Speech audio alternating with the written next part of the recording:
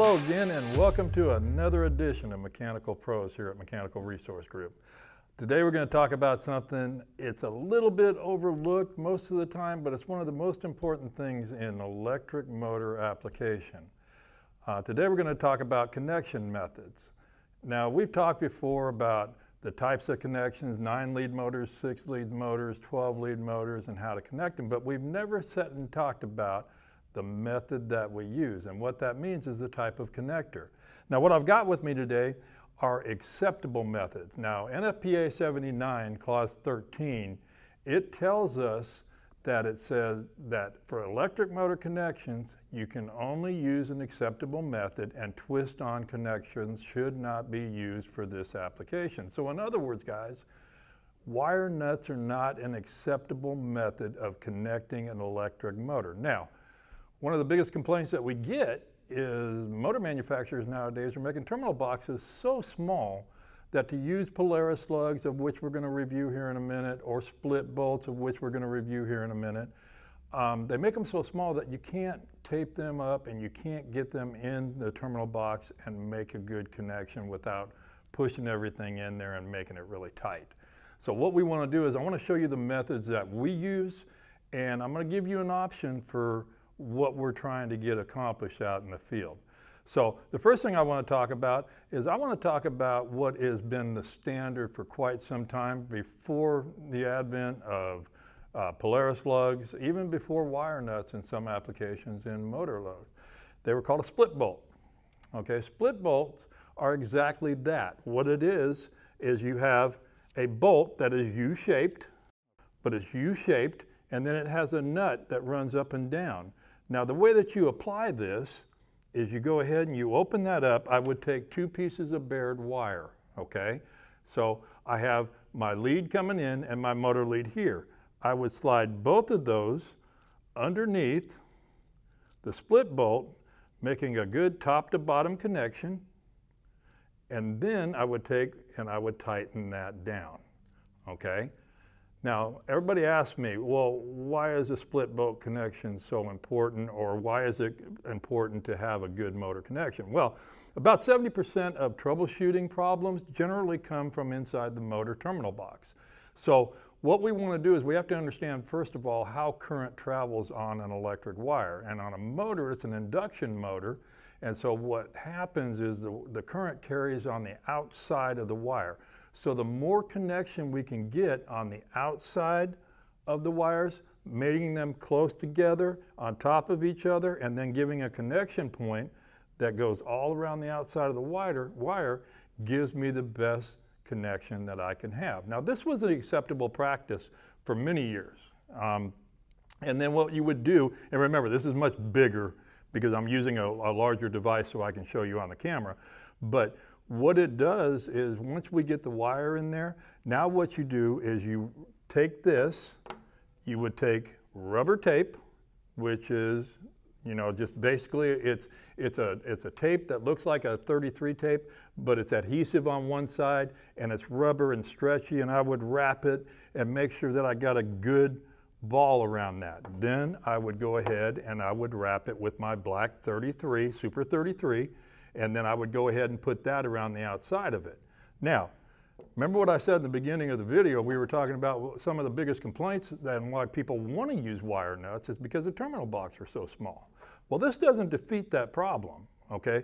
But this is an acceptable method of connecting an electric motor, and it's, it's one way that we can do it. If you can do this, this is what we want to do. Now, not too long ago, what, is, what happened is there was a company called Polaris, and Ideal makes them, but Polaris was the company that, uh, that started it. And what they did is they created this lug. And what it is is an insulated lug. Requires no rubber tape or black 33. And what it does is you would go ahead and you would put your wires, and I would have one wire that went in here, one wire that goes in here, and then if you'll notice, I have hex head connection screws on the top of it. I run that down, there's my mating of my two wires together, okay? This is an acceptable method per NFPA 79. Now, the problem with this, again, is gonna be very large, and it's hard to get inside the motor terminal box, okay? So, but very good connector. Now the next thing that we're going to talk about is we're going to talk about the old way. Now I, have been in the motor business for quite some time, about 40 years. And so when I take a look at an electric motor, I take a look at, okay, I want to make sure that I get the best possible connection. So what we did in the beginning was we would use what we call ring terminals, and they're just motor lugs, okay? And it would go on the wire, and it would look something like that, okay? And it would be crimped down with a crimp connector, okay? And then I'd do that on both wires, okay? Now what I do is I mate these two up. I'm gonna go ahead and take the wire out because it's easier for me to handle. Um, but I would take that and then take a standard machine screw, okay, run the machine screw through, put a nut. I don't use lock washers. Everybody asks me, why don't you use lock washers? Well, because it does create an air, air gap with the lock washer and I want as much contact material to material as I can get because all of that wire, all that current is going to be passed through this connection. Okay? So this is what it looks like here. Okay, so now if, if you notice how small that is, okay, compared to this, I'm getting pretty close, aren't I?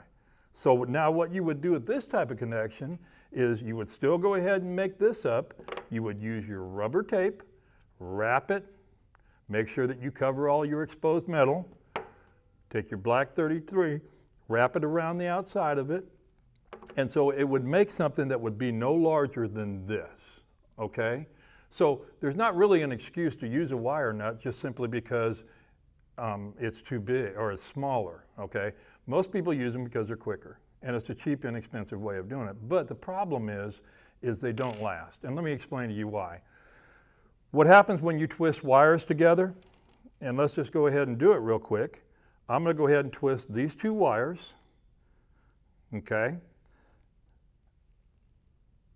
And if you'll notice as they're twisted, I kind of make connection, but I'm only making connection on 11, percent of the outside diameter of each wire. So now what I have to do is I have to rely on this, on the, on the wire nut. And then I'm going to come down and I'm going to twist it. Okay, that makes connection, right? Nice, clean connection. Everybody thinks it's okay, it's all right. But here's the problem, is they're not really rated in current.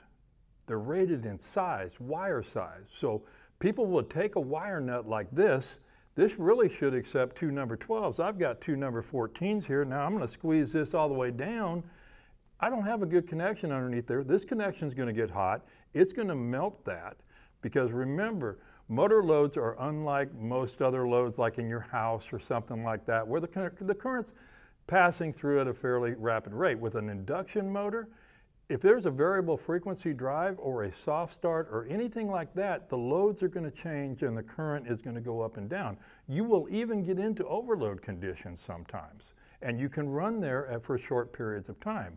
If you have this connector on there and it's not rated for the size wire that you have, these will get hot, they do melt, and they will fail. Okay? So basically in closing, guys, what I want to just make sure that we all know is NFPA 79 was written for a reason, okay? And the reason it was written is because we saw classic failures such as what I'm talking about. Wire nuts are simple, they're easy, okay? And acceptable on most connections in fractional horsepower motors because fractional horsepower motors are going to draw fractional current. When you get up into that seven, seven and a half horsepower, 10 horsepower motor range, it is absolutely not an acceptable method. I don't care if you tape them on or whatever you do because they will spin off. And then all of a sudden you got an exposed wire, it goes to ground, it can damage the motor, it can damage the starting device. So what I just want to make sure that we do today here on Mechanical Pros is we just have a general understanding of the best way to connect a motor to get the most life out of that motor, to maintain its efficiency, and eliminate downtime. So with the three that I showed you today, the split bolt, the Polaris lug, and the ring tongue terminal with machine screw, those three are acceptable methods for electric motor connection. This is not. So let's just keep in mind, guys, we want to keep our motors healthy. We want to keep our customers happy. We want to give our motors the best chance at living their life. And if we, get, we put them in a good position, we connect them correctly, these motors will last much, much, much longer. So that's it for today for Mechanical Pros. Thanks for showing up, and we'll be back and we'll be talking about more interesting things. All right? Have a great day.